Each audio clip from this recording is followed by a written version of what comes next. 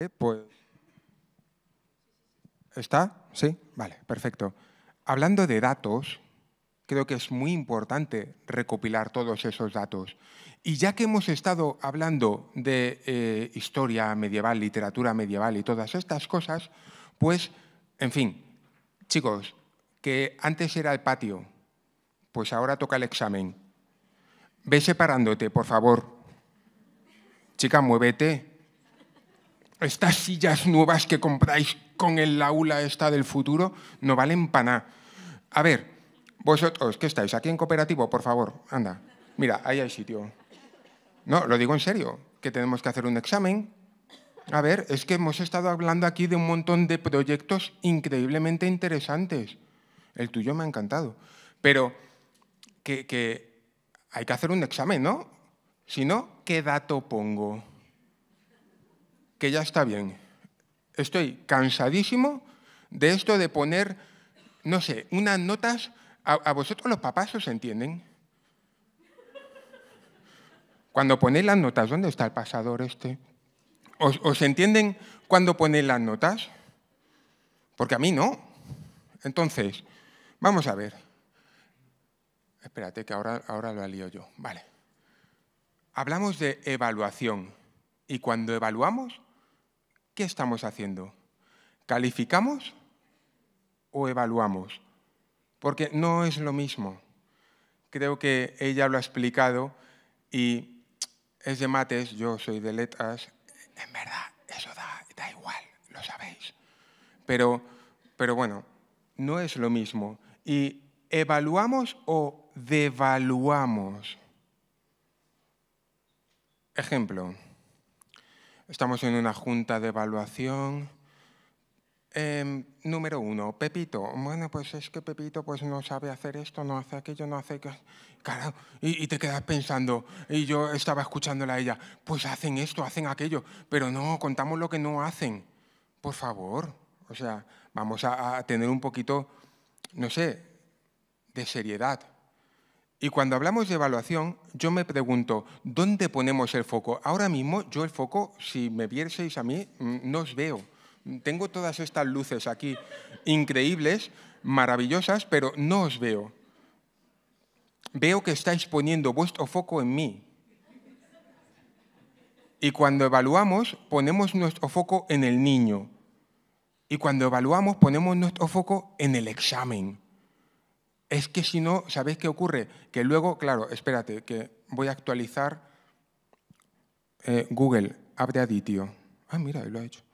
Eh, tengo que poner la calificación, el numerito, el 5, el 6, el 7, el 8. No lo sé. Claro, sigue reíros, reíros, pero es que es lo que nos pasa, es lo que nos pasa. El foco lo ponemos en el final. Lo ponemos en una calificación. Y el foco no está ahí. Estamos cansados de, hablar de esta cosa de aquí maravillosa. Proceso. Proceso. Y no, no estamos hablando de un tipo de contenidos y todas estas cosas, eso ya quedó caducado. Pero el proceso es cómo nuestros alumnos hacen las cosas. Habéis visto un montón de ejemplos maravillosos a lo largo del día de hoy. Pero, ¿y esto luego cómo lo evalúo? Para mí, ahí es donde está la cuestión. Claro, para hablar de esto es que necesito tiempo. Y yo no sé en vuestros coles, pero conozco unos cuantos y conozco el mío, y que si reunión de esta comisión, reunión de aquella comisión, del departamento de, de... Chico, que nos falta tiempo por todos los lados. Y esta es una realidad. Entonces, al final llega diciembre, junta de evaluación, y dices, ay, Dios mío, y tengo que poner notas, ay, Dios mío, los datos, ay, es que se me ha borrado Aditio. No, que puedes hacer copia de seguridad, no te preocupes. ¿Qué herramientas usamos? Ella las ha mencionado y creo que ahí es donde tenemos que poner el foco. ¿Qué tipo de herramientas queremos usar? Vuelvo a saltar, es que me gusta. ¿Qué herramientas usa? Uy, ¿cómo suena aquí? ¿Qué herramientas usas tú? Yo, rúbricas.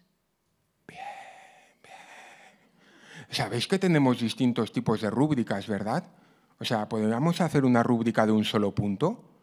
Ella ha hecho una que tenía cuatro puntos. Pero, ¿y si hago una rúbrica? No, eso está prohibido, Fran, tienen que ser cuatro puntos. ¿Por qué? Porque las del INTEF son así. Da igual. Haz una de un punto, no pasa nada, sáltate esa norma. Que el INTEF, con todo el cariño para el INTEF, que también colaboro con el INTEF, no es la Biblia. Entonces, no pasa nada que te las puedes descargar en editable y lo hacen editable, no están en PDF, están en ODT. ¿Para qué? Para que las puedas cambiar.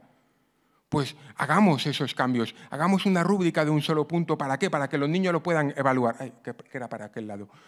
Pero bueno, que las queremos hacer de cuatro niveles, no pasa nada. ¿Por qué son cuatro niveles? ¿Por qué no son cinco? ¿Por qué no son ocho? Bueno, porque de esta manera lo podemos catalogar mejor y podemos distribuir mejor esos niveles de desempeño de la analítica.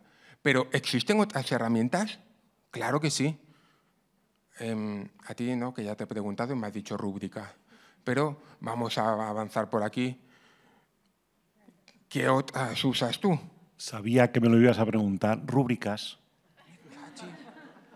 Me cachis en la mar, no puede ser, che. Tenemos las escalas de valoración también ella lo ha comentado en, la ponencia hace un momentito, escalas de valoración, pero pueden ser numéricas o pueden ser descriptivas. Tenemos de muchísimo tipo. Tenéis aquí esto. He visto por ahí antes una persona cogiendo apuntes. No hace falta que cojas apuntes. No te preocupes, está en vídeo. Luego lo publicarán. No está ahora en directo, no es en streaming, pero luego lo vas a poder ver seguro. Ah, vale. Al final, muchos acabamos volviendo a ese examen. El examen maldito, el examen, oh, que es malísimo, no podemos hacer un examen. Bueno, ¿y si el examen es hacer un breakout? Puede, sí. Hagámoslo. Cambiemos el formato del examen. ¿Puedo hacer un examen competencial?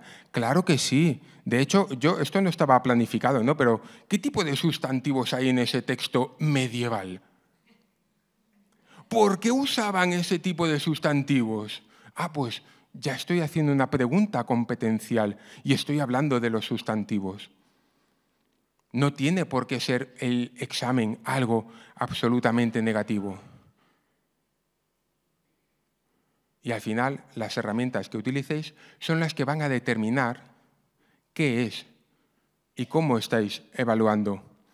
Pero cuando evaluamos, ella lo ha, comentado también antes, ¿le decimos al niño en qué falla? Me da igual que sea una rúbrica, me da igual que sea una diana, que me encantan las dianas, me da igual que uséis el semáforo, una escalera de valoración, la que queráis. ¿Qué feedback le doy al alumno? Porque claro, si tengo 23 niños, una clase de 45 minutos, a mí las matemáticas, que tampoco se me daban bien, pero me dan a que sale a un minuto y pico por niño, con lo cual el feedback es, tiene que ser rápido. Tiene que ser rápido. No tengo tanto tiempo. Ya lo dije al principio.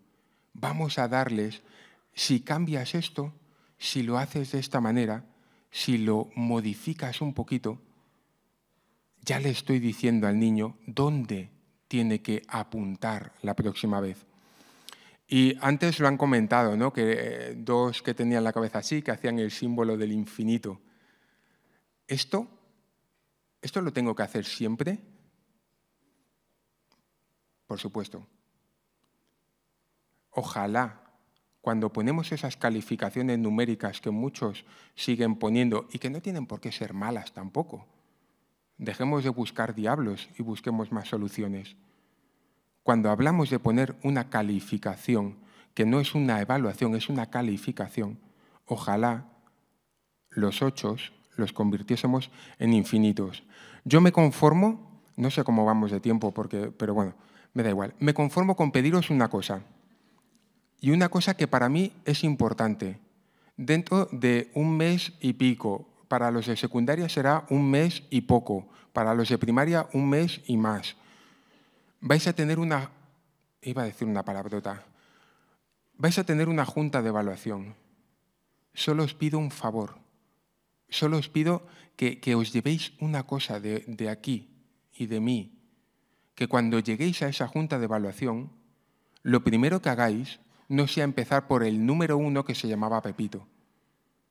Simplemente os pido que lo primero que hagáis cuando empecéis en esa junta de evaluación es coger y decir, mi metodología, lo que yo he estado haciendo, ha tenido este resultado. Los recursos que he estado utilizando, me da igual que sea Kahoot, que sea Genial y que sea lo que, lo que os apetezca. No hace falta conocerlos todos, con que conozcáis uno bien es suficiente. Pero decir, me ha dado este resultado, ¿es lo que yo quería? ¿Es lo que yo buscaba? Y cuando empecemos por ese número uno, empecemos diciendo, me ha hecho un poema increíble. Me ha trabajado una canción de Sabina, que es curioso, de una manera increíble. Ha hecho esto, ha hecho esto, ha hecho esto, ha hecho esto. ¿Por qué? Porque a lo mejor enfrente tenemos a esos otros 7, 8, 10, 15 personas que entran en el mismo aula, que estaban ya con la escopeta ahí, ya diciendo, venga, venga, que la tengo calentita para decir, ha fallado aquí, ha fallado aquí, y de repente se van a quedar diciendo, como eres el tutor, el que habla primero, se van a quedar diciendo, ¿y ahora qué digo yo? Espera, voy a buscar datos, por eso hay que anotarlos, a ver qué es lo que hace bien, porque solo me anoté lo que hacía mal. Cambiemos un poquito el chip. Y bueno, aquí tenéis todas estas cosas que no valen para mucho.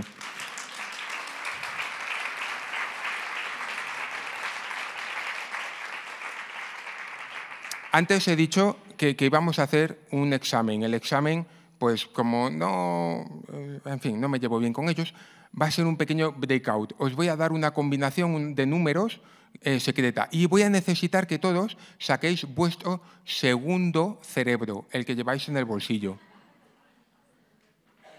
Sí, es que eh, como tenemos ya tanta sabiduría, no nos cabe toda aquí. Y aquí es donde almacenamos ahora. Bien, y vais a, a ver, vais a coger y vais a decir el número que yo os voy a, a marcar. Bueno, lo primero que tenéis que hacer es darle a un iconito verde que tiene un teléfono. Sí.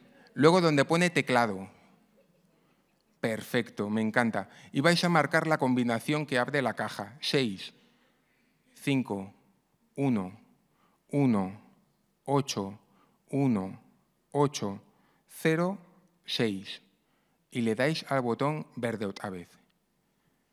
Que alguien le dé. ¿Vale? Perfecto. Hay una persona que acaba en 627. Quien tiene un teléfono, espero que no hayan dos ahora, que acaba en 627, por favor, voy a necesitar que se acerque. Vente, vente, vente. Perfecto.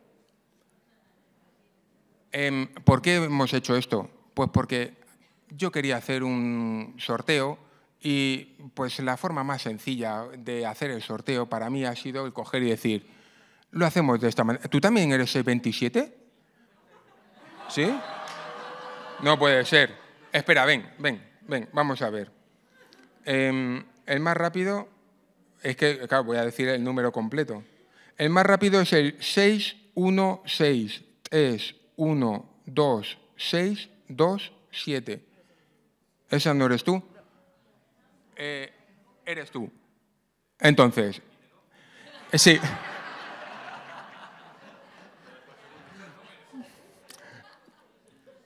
¿616 empieza así? Vale, perfecto. Es que estoy pensando que estoy dando un teléfono que no... En fin, esto luego lo cortáis. Vale, vente. Bueno, lo que os decía, pues iba a hacer un sorteo de un libro y esta era la manera de poder hacerlo. Así que le ha tocado a Pablo.